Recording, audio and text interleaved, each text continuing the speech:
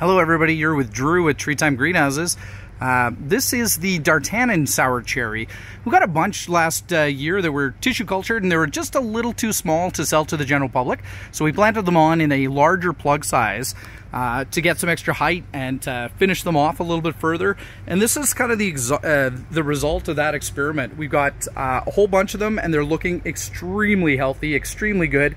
Um, they're very successful. The tallest of them are probably closer to two feet, but the majority of them are probably 16 to 18 inches tall. Uh, but those are the D'Artagnan Cherry, a University of Saskatchewan new release. Um, and we expect this to be a, a top seller going forward here as well. They're very hardy, uh, give a nice tasty cherry.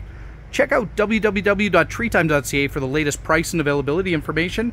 This is a way that we're trying to push uh, some innovation and have some slightly larger plugs that we would normally have with taller trees and closer to being uh, ready for fruiting uh, for you, the customer that has asked for those kind of things. So we're trying to be responsive and this is what we're coming up with.